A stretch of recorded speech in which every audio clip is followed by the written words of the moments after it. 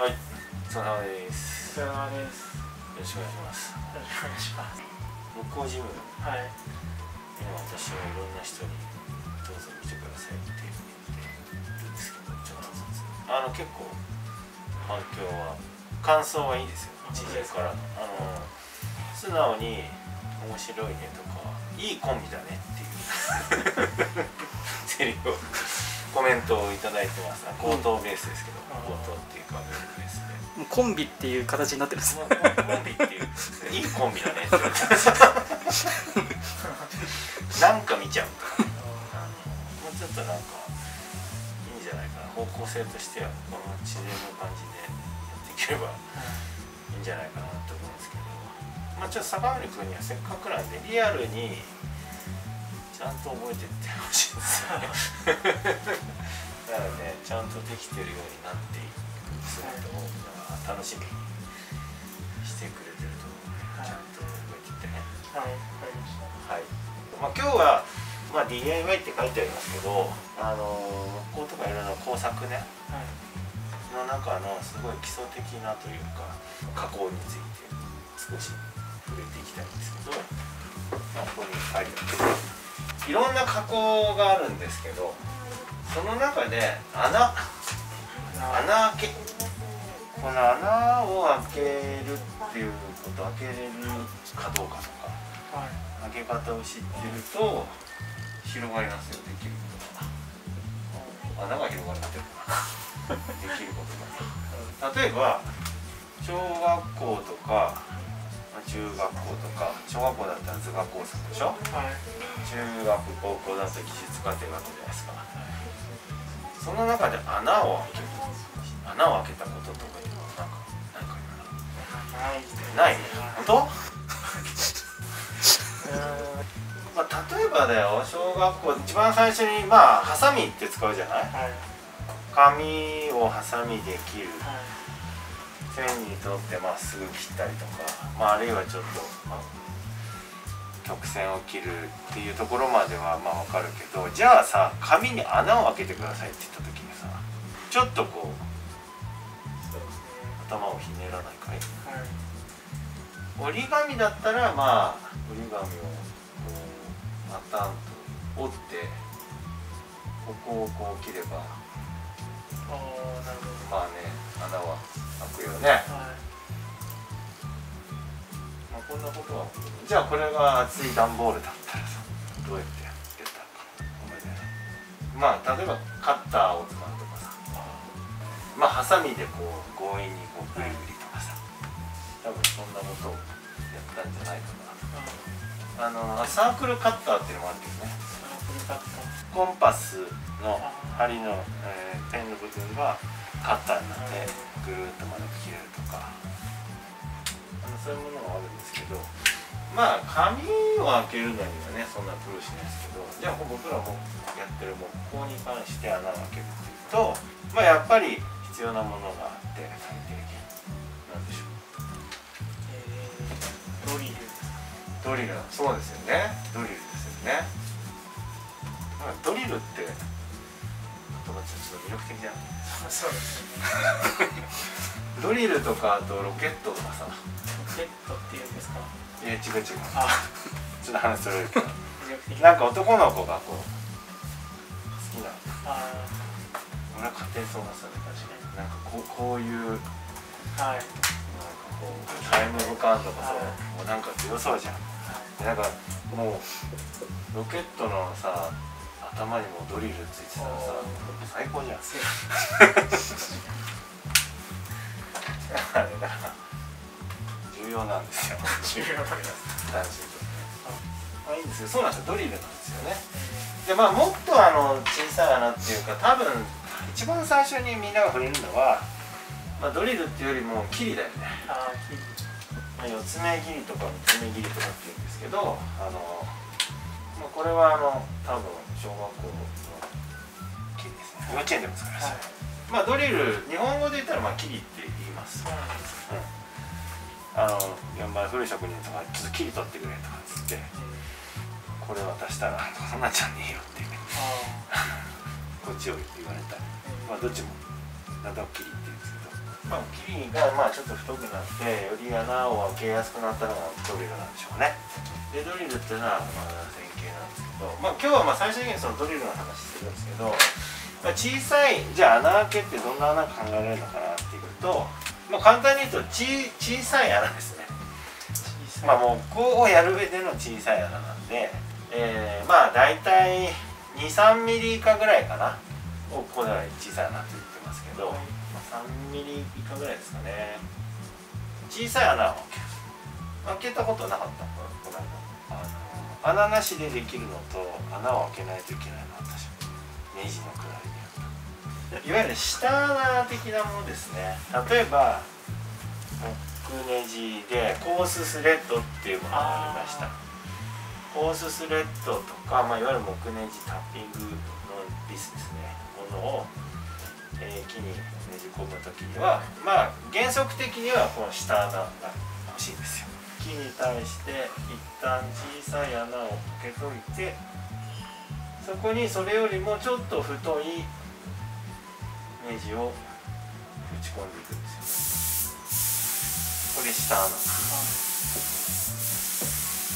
これはよく使います。でこの下穴がいらないネジがスリムビスってこの間話したんですけど、まあ、それはまた別の動画見てください、あとはもう少し大きい穴まあ今度はあそれこそ3ミリかな、うん、30ミリぐらいまではいけるんですけどドリルもう少し大きい穴です。まあ、通し穴ね。貫通穴、うん、例えばこれは断面。こういった木に対してこういう板をネジで固定したい時にここには下穴を開けていきますこれ下穴下。ここにはちょっと大きい通し穴を開けておくといいですね。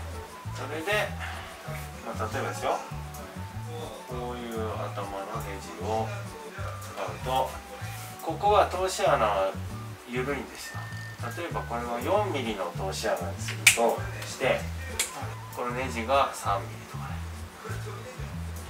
ここは緩くていいですよ。ここは下穴だから下穴が 2mm ネジは 3mm わかる？そうここはきつくないといけない、うん、ここはでも緩めてもよかったりする。通し穴ね。これはまあババカ穴って言ったりするけど、まあ、こういう通し穴貫通穴ですよね。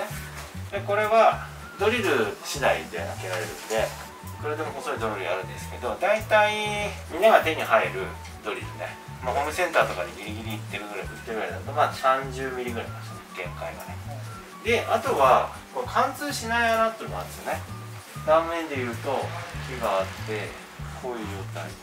断面で分かる？こういうのはねザボリ穴とかなかなか DIY のレベルで使わないかもしれないですけどまあもうちょっとレベルが上がってくると長板スライド長板っていうこれ上級者編ですね。そのうち出てきますけど。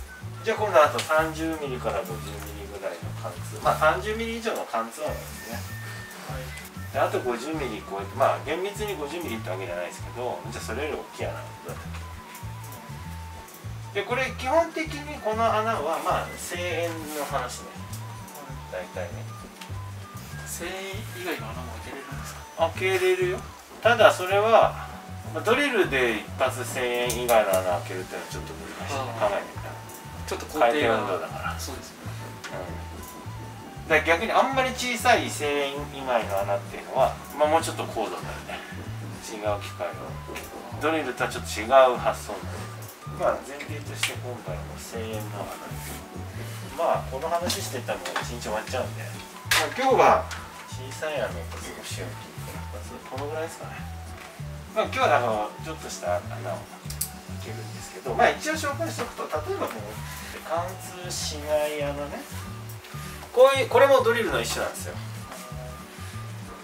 これホスナビットとかって言いますけどあのこっちはホームセンターで売ってるからこれはいわゆるちょっと専門的な金物屋さんとかじゃないとあんまり売ってないかもしれない。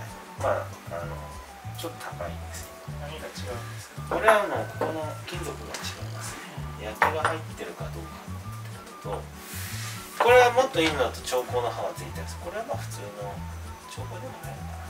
こういうフォスナービットなんていうタイプのものでこれはまあある程度のパサが出てボツボツボツいったらそこが平らになるような設計になってます。30mm から 50mm ぐらいの貫通穴って書いてあるんですけどこれがね大体あの木工用ドリルって後で説明するけど、まあ、これ 33mm なんで、まあ、こんな大きいドリルもあるんですけど大体この 35mm が限界かなと売ってるもんだと。